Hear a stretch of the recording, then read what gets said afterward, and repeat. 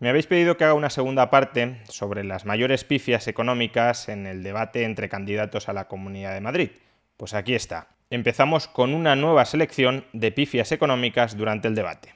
Miren, un informe de UNICEF que lo conoce usted desde hace bastante tiempo, eh, decía que uno de cada tres niños eh, está en situación de exclusión social o de pobreza. Se acordará porque un consejero de la anterior legislatura del Partido Popular, que lleva usted en la lista, dijo, yo no voy por la calle, voy viendo un niño normal, un niño normal y un niño pobre. Bueno, pues sí, hay un 30% de niñas en situación de pobreza.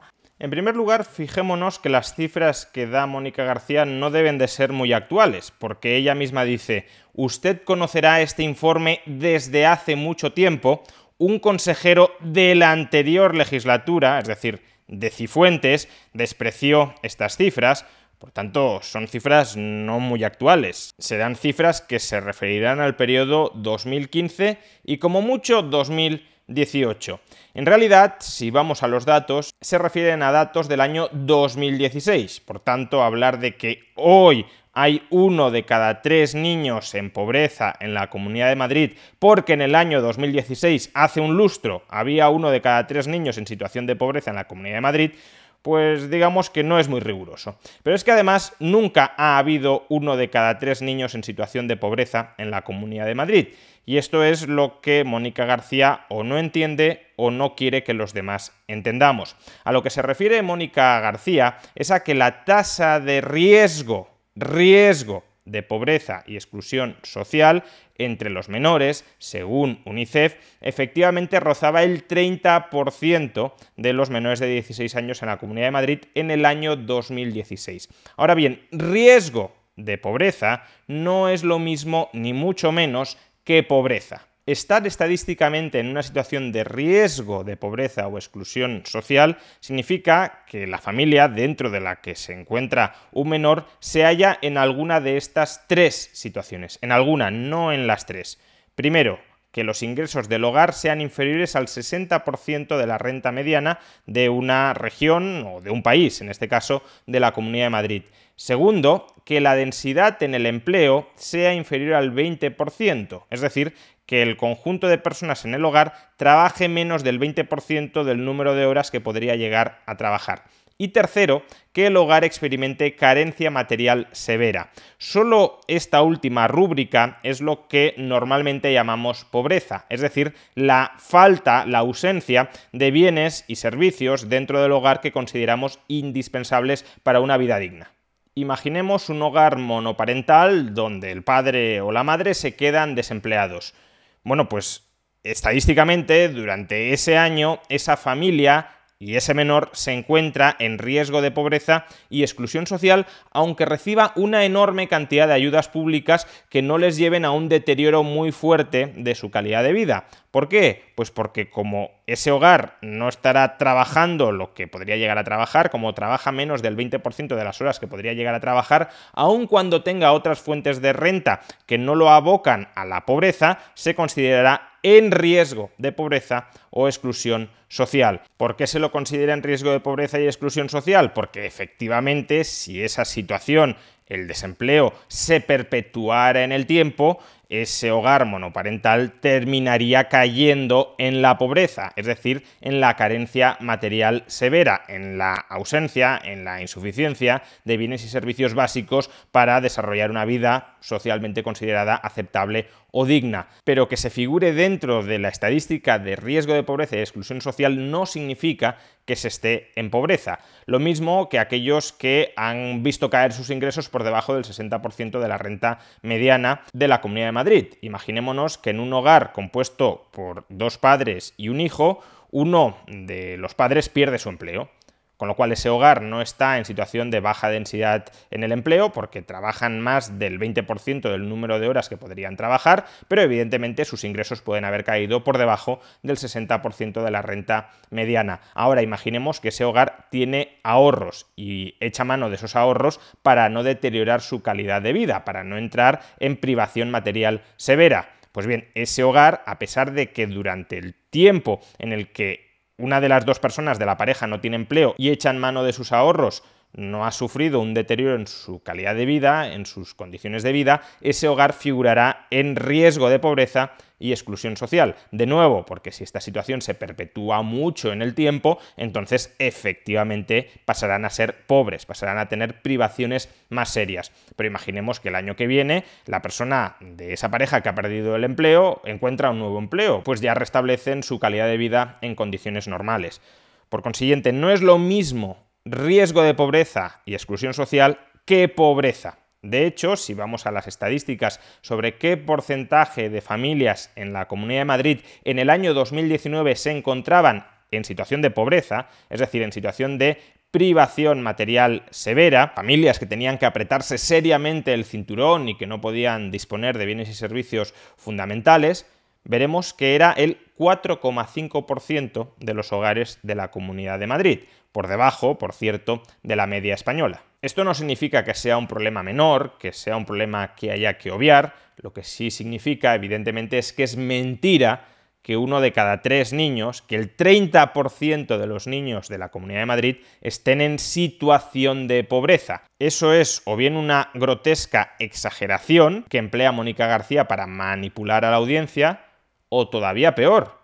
Mónica García pretende gobernar la Comunidad de Madrid creyendo que hay un drama social masivo, que uno de cada tres niños en Madrid son pobres en el sentido más estricto del término, y desconoce que esa no es la radiografía real en absoluto de la población madrileña. Ustedes, cuando nosotros dijimos que había que tener, teníamos que tener recursos para la atención primaria, que había que acabar con el despilfarro político, que había que reducir el gobierno, ¿saben lo que votaron? Que no o sea, que dejen de dar lecciones, porque no sé dónde van a sacar los recursos para sus profesionales sanitarios que siempre dicen que son suyos, porque cuando llega la verdad y llega la hora de votar, ¿saben lo que hacen? Votar en contra. y por cierto, señor Iglesias, si usted no se dedicara a gastar los recursos de todos los españoles en la niñera oficial, a lo mejor tendríamos recursos para los dentistas, para las gafas, etcétera, etcétera. Sería mucho mejor, ¿verdad? Hace falta acabar con el despilfarro político para poder, ¿qué? Reforzar la sanidad, la educación, la emergencia social. No necesitamos para nada 136 diputados en la Asamblea de Madrid, que yo he estado dos años ahí y me ha escandalizado lo que he visto. 136 diputados cobrando 4.500 euros todos los meses y muchos de ellos para que les dicten que voten sí o no. Y les preguntabas y ni se habían leído la ley. No nos hacen falta estas consejerías de PP y Ciudadanos, 13 consejerías, con siete nos sobran, viceconsejerías, direcciones generales, comisionados de bienestar animal, comisionados de género, comisionados de cambio climático, cobrando 100.000 euros todos los años, los 100.000 euros que a muchos pensionistas les faltan o a que nuestros jóvenes les faltan para, para acceder a una vivienda. Este es el ejercicio que tenemos que hacer. Fijémonos que Monasterio está diciendo que podemos gastar más en dentistas, podemos gastar más en oftalmólogos, podemos gastar más en educación, en reforzar la atención primaria, que podemos gastar más en todo esto reduciendo el gasto político. ¿Y qué es el gasto político? Pues reducir a la mitad el número de diputados en la Asamblea de Madrid, que Iglesias no gaste dinero en su niñera o que la estructura de gobierno sea algo más ligera de lo que es actualmente. Pues bien, estamos hablando de órdenes de magnitud radicalmente distintos. Para que nos hagamos una idea, el ahorro que se lograría de reducir a la mitad los diputados en la Asamblea de Madrid sería de apenas 3 millones y medio de euros. No sé cuánto cuesta la niñera, pero desde luego tampoco creo que cobre varias decenas de millones de euros. Pues bien, estamos hablando de un orden de magnitud de varios millones de euros, quizá 10, 20, 30 millones de euros a lo sumo, tirando muy por lo alto, Solo el gasto en sanidad, solo el gasto público en sanidad en la Comunidad de Madrid supera los 8.000 millones de euros. Por tanto, de todas estas partidas que menciona Vox, no vamos a extraer recursos para aumentar de una manera sustancial ni el gasto en sanidad, ni el gasto en educación, ni el gasto en protección social. Es puro populismo presupuestario. Lo cual no significa, por cierto, que no haya que hacer estas cosas. Yo no estoy criticando las propuestas de fondo de Vox de reducir el número de diputados, de reducir el número de consejerías, obviamente de que Iglesias si ha hecho un mal uso de un empleado público para funciones de niñera no lo haga, pero eso no tiene nada que ver con que si no hacemos todo esto, que no hay que hacerlo, tendremos una cantidad ingente de recursos para destinarlo a educación, a sanidad, a pensiones, a dependencia y aún nos sobrará dinero. No, eso es populismo, es engañar a los votantes haciéndoles creer que existe una bolsa de recursos gigantesca que si entra Vox al gobierno podrán disponer de ella reduciendo el despilfarro y repartirla en forma de gasto público superabundante entre la población. Y no es así. Señora Ayuso, yo no le he traído gráficos de colores. Le he estado escuchando atentamente lo que usted decía. Usted ha dicho, los datos económicos de Madrid son mejores que los del resto de España. Empiezo citando las fuentes que usted pedía. Instituto Nacional de Estadística, dependiente del partido bolchevique, Ministerio de Seguridad Social, controlado por la Venezuela bolivariana, y de nuevo Instituto Nacional de Estadística. Dice el INE que la caída del PIB ha sido del 10,3%. Dice el Ministerio de Seguridad Social que la caída de afiliados en la Seguridad Social entre febrero de 2020 y febrero de 2021 ha sido del 2,1 y el índice de producción industrial, que mide la productividad, cayó un 6,5% entre enero de 2020 y enero de 2021. Yo respeto su opinión, pero usted ha dicho la palabra cifra sin dar ni un solo dato. Y estos son datos de instituciones oficiales, sin gráficos de colores, que revelan que la política del mascarillas fuera todo abierto no ha servido ni siquiera para que los datos económicos de la Comunidad de Madrid sean mejores que el resto. Cuidado, fijémonos en la trampa. Iglesias ha ofrecido datos de caída de la actividad en la Comunidad de Madrid, pero no ha ofrecido datos para compararlos, para contrastarlos, de la caída de la actividad en el resto de España. Y sin embargo, al final de su alocución sí que dice que las políticas de la Comunidad de Madrid no han servido para que los datos económicos sean mejores que los del resto. ¿Cómo podemos saber si esto es así si no nos has dicho cuáles son los datos del resto? Te has centrado en decir que la Comunidad de Madrid se ha desplomado económicamente. De acuerdo, porque hemos vivido un año de pandemia durísimo donde se ha cerrado en gran medida la actividad y por tanto la actividad económica claramente se ha contraído. Ahora, ¿se ha contraído más o menos que en el resto de España? Y eso te lo callas, solo nos das datos de la Comunidad de Madrid. Pues bien, vayamos a los datos, vayamos a la comparación para ver si tienes o no tienes razón. Primer dato que ofrece Iglesias, que el PIB de la Comunidad de Madrid ha caído un 10,3% en el año 2020. Dice, por cierto, que es un dato que ofrece el INE, falso, el INE todavía no ha desarrollado las estadísticas regionales de contabilidad nacional, es un dato que ofrece la Consejería de Economía de la Comunidad de Madrid, no el INE. Pero en todo caso, 10,3% de caída del PIB en la Comunidad de Madrid contrasta con la caída del PIB del 11% del resto de España. Por tanto, el PIB de la Comunidad de Madrid se ha contraído menos que en el resto de España. Todavía más significativo, según estos mismos datos, en el cuarto trimestre del año 2020, el conjunto de España creció un 0,4%, la Comunidad de Madrid un 4,4%. Segundo dato que ofrece Iglesias, que la afiliación a la seguridad social ha caído en Madrid más de un 2%. Como ya expliqué en el anterior vídeo, este dato no es en sí mismo significativo porque está incluyendo como afiliado a la seguridad social a los trabajadores que se hallan en ERTE. Y evidentemente un trabajador que está en ERTE está afiliado a la seguridad social, pero no podemos dar a entender que es un trabajador que esté trabajando, que esté activamente en el mercado laboral desempeñando una ocupación, un empleo, porque está parado económicamente, aunque afiliado a la seguridad social porque el Estado se hace cargo de su cuota de afiliación, de su cotización social. Pues bien, si contrastamos cuánto ha caído la afiliación a la seguridad social entre febrero de 2020 y marzo de 2021, excluyendo a los trabajadores que están en ERTE de la afiliación, es decir, no considerando afiliado a los trabajadores que están en ERTE, veremos que en el conjunto de España han caído un 5,5% y en la Comunidad de Madrid han caído un 5%. Es más, durante el primer trimestre de 2021, en el conjunto de España, el número de afiliados a la Seguridad Social sigue cayendo, mientras que en la Comunidad de Madrid comienza a crecer. Y tercer dato que ofrece Iglesias, el índice de producción industrial, que nos dice que mide la productividad cuando no mide la productividad, lo que mide es la producción industrial. Nos dice Iglesias que el índice de producción industrial en la Comunidad de Madrid se contrajo un 6,5% entre enero de 2020 y enero de 2021. No sé de dónde saca el dato, porque de acuerdo con el Instituto Nacional de Estadística se contrajo un 5,8%. En todo caso, aunque fuera el 6,5% y no el 5,8%, que es el 5,8%, en el conjunto de España el índice de producción industrial durante ese mismo periodo se contrajo un 7%. Por tanto, aún en este caso, la Comunidad de Madrid lo estaría haciendo mejor que el resto de España. De hecho, de las 17 autonomías fue la quinta en la que menos se contrajo este índice que ha sacado a relucir Iglesias y usted quiere subir los impuestos y es que dice usted que la señora Calviño dice que no, pero es que la señora Montero esta misma mañana le estaba yo en el Congreso de los Diputados preguntando y claramente decía que había que subir el impuesto de sucesiones y el impuesto de patrimonio. Este Señor año, Iglesias, que este es año. doblar dos veces, grabar lo mismo. Cuando yo gano la riqueza la grabo y luego cuando compro un objeto vuelvo a grabarlo con el impuesto de patrimonio. Y a usted eso le parece justo y a usted eso le parece que es de un país civilizado. Pues no, no es así.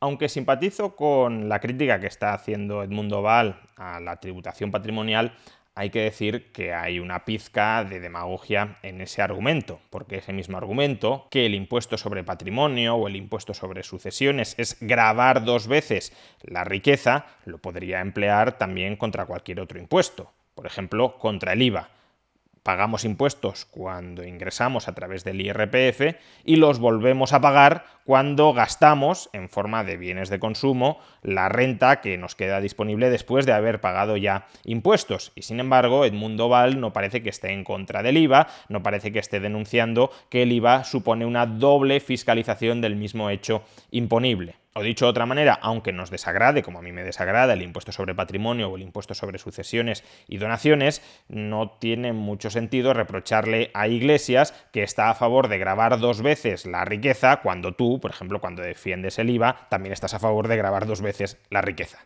Yo le quiero preguntar al señor Gabilondo, ¿qué pasará el año que viene cuando el Gobierno de España tenga que eh, volver a contar con Esquerra y con Bildu para poder aprobar estos presupuestos y le llame el señor Sánchez y le diga, si usted, que no lo va a ser, es presidente de la Comunidad de Madrid, le diga, oiga, mire, que es que tiene que subirme los impuestos porque me lo pide Esquerra Republicana de Cataluña, porque Madrid es un paraíso fiscal.